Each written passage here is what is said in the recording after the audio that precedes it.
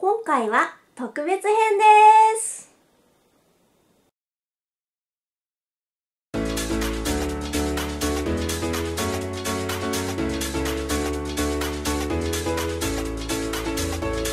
皆さんこんにちは、ようこです。いよいよ今年もあとわずかになりましたが皆さんの有馬記念はいかがでしたでしょうか？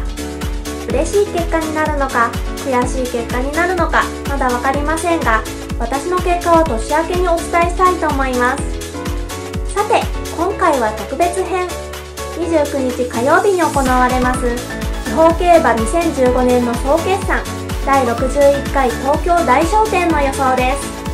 まずは中央競馬の予想と同じように過去10年で気になるデータからおさらいしていきます。勝ち馬は中央馬9勝地方馬1勝中でも関西馬が9連勝中と圧倒的な成績を残しています。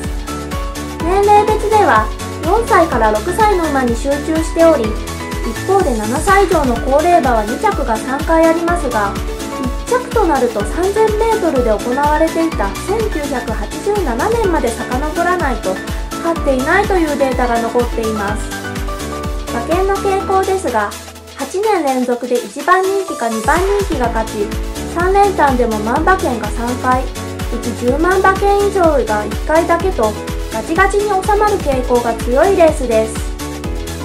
続いては気になる馬をピックアップ。まずは中央馬からですがチャンピオンズカップでも有力とされていた北高タルマエとコパノリッキーがここでも注目されています。迎え撃つ地方馬ですが去年の3着馬サミットストーンや夏の帝王賞の3着馬ハッピースプリントなど交流 G1 で活躍する馬たちに注目が集まります。私の一押しはサウンドトゥルーです。夏にオープン特別を勝ち上がるとそこから一気にパワーアップ。秋の重賞戦線では必ずどちらかに土をつけており伸びしろもある見逃せない一頭です。2強を見ながら進められる展開や配当のことも考えてこの馬を軸にしたいと思います。それでは買い目です。3連複で5番を軸に2投目は11、13、3投目は1、6、11、13あと馬単で5番11番と5番13番。そしてその折り返しを狙いたいと思います。